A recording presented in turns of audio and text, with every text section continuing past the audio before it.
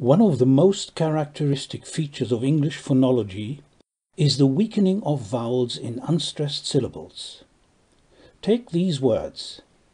In isolation, each word is stressed and the result is there, were, rather, a, lot, of, them.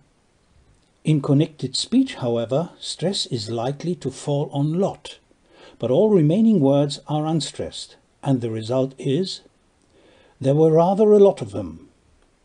The vowels in there, were, a, and of are now weakened to the central vowel schwa, or they are totally deleted as in them.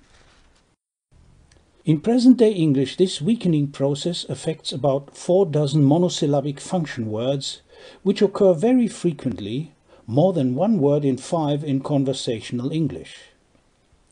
These words have a strong form in stressed position with a full vowel and a weak form in unstressed position with a weakened vowel or a syllabic consonant. This example exhibits four weak forms and nicely shows the difference between strong and weak.